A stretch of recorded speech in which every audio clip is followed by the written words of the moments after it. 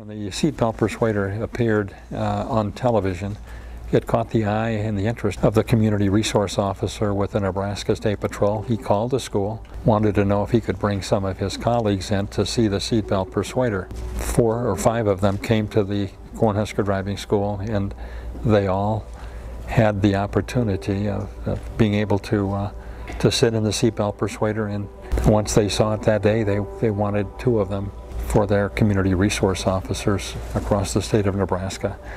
And also the University of Nebraska once they, they saw what the State Patrol had they also have it in their repertoire as well. And when Minnesota State Patrol saw the seatbelt persuader, were more than interested, and I believe they bought four. Our goal is to see how many the State Patrol officers across the state would be, in, across the country would be interested in, in the seatbelt persuader. We truly believe that it would make a difference in terms of number of uh, people injured in a crash and in terms of the number of people that, that perish in a car crash. And seeing is believing.